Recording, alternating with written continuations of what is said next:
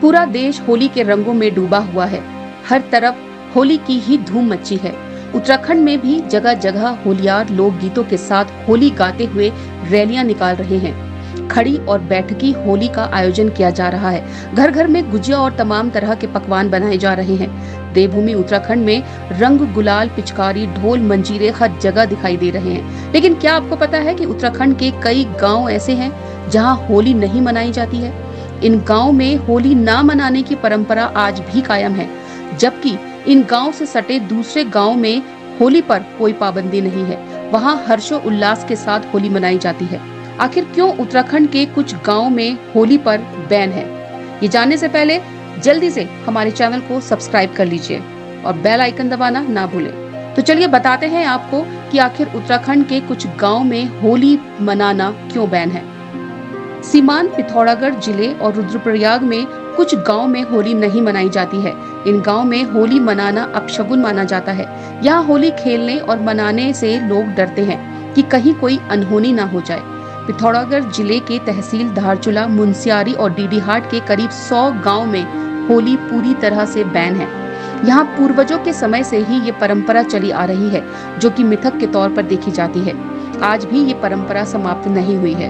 यहाँ ये आशंका रहती है कि होली मनाने से कोई बहुत बड़ी दुर्घटना हो जाएगी या अनहोनी हो जाएगी। होली हम पूर्वज पहले से होली नहीं खेलते हैं वो कहते हैं कश्मीर से आ रखी है उनको देवी उनके साथ आ रखी है। उस देवी को रंगों से वो परहेज है वो दोष होता है गाँव में रंगों से। धारचूला के बुज़ुर्गों की माने तो उन्होंने अपने पूरे जीवन काल में यहाँ किसी को भी होली मनाते नहीं देखा। रांथी जुम्मा खेला श्यामकुरी खेत, जमुकू, गलाती, गगुरवा सहित कई गाँव छिपला के दार में स्थित है, जहाँ होली पर कोई भी उल्लास नहीं होता, रंगों से पूरी तरह परहेज होता है। वहीं मुंसियारी के चौना, पापड़ी, मालूपाती, हरकोट, मल्ला घोरपट्टा, तल्ला घोरपट्टा माणी टुंडी पैकुटी, फाका, वादनी सहित कई गाँव में होली नहीं मनाई जाती। चौना के बुज़ुर्ग बताते हैं कि पूर्वजों के अनुसार एक बार होलियार देवी के प्रसिद्ध भराड़ी मंदिर में होली खेलने जा रहे थे। तब सांपों ने उनका रास्ता रोक दिया। इसके बाद जो भी होली का महंत बनता था या फिर होली गाता था तो उसके परिवार में कुछ न कुछ अनहोनी घटना हो जाती थी, जिसे देखते हुए ही यहाँ होली मनाना बंद कर दिया गया।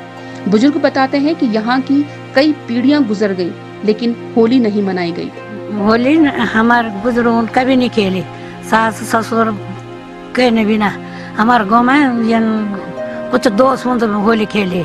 बाला सुंदरी देवी से हमारी, जब कुछ होली होली खेला तो ये दोस्त सुंदर तो हमारा बच्चा भी नहीं खेलता होली इसी तरह डीडी हाट के दूनकोट क्षेत्र के ग्रामीण बताते हैं कि अतीत में गाँव में होली मनाने पर कई प्रकार के अपशकुन हुए हैं। पूर्वजों ने उन अपशगुनों को होली से जोड़कर देखा। तब से होली ना मनाना एक परंपरा हो गया। आज भी ग्रामीण आसपास के गाँव में मनाई जाने वाली होली तक में शामिल नहीं होते। रुद्रप्रयाग में भी कुछ गाँव ऐसे हैं जहाँ होली पूरी तरह से बैन है। इसके पीछे ईस्ट देवी की पूजा से जुड़ी कुछ परंपराएँ हैं। यहाँ तीन गाँव ऐसे हैं जो होली महोत्सव से दूर रहते हैं। ये ना तो रंग एक दूसरे पर डालते हैं, ना ही बाहरी गाँव से कोई होलियार यहाँ आता है। रुद्रप्रयाग के क्विली कुरझण और जौंतला, ये तीन गाँव होली से कोसों दूर हैं। ये तीन गाँव एक दूसरे से सटे हुए हैं।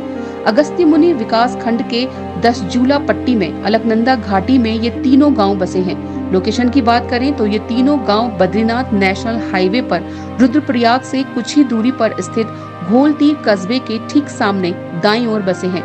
यहाँ ज़्यादातर अनुसूचित जाति और राजपूत समाज के लोग रहते हैं। इनका मानना है कि गाँव की ईस्ट देवी माँ त्रिपुरा सुंदरी को होली पर हुरदंग पसंद नहीं है, इसीलिए होली बैन है। कुछ साल पहले किसी ने नियम तोड़ने की कोशिश की थी, उसी साल यहाँ महामारी फैल गई थी। माँ देवी त्रिपुरा सुंदरी के नाराज़ होने से लोग डरते हैं। ऐसा कई बार हुआ जब यहाँ होली खेलने की कोशिश की गई और उसी साल कुछ न कुछ अनहोनी घटना हुई। इसी डर से यहाँ होली नहीं खेली जाती है। अगर आपके पास भी ऐसी ही कोई जानकारी हो जहाँ होली नहीं खेली जाती हो तो हमें कमेंट बॉक्स में ज़रूर बताइएगा।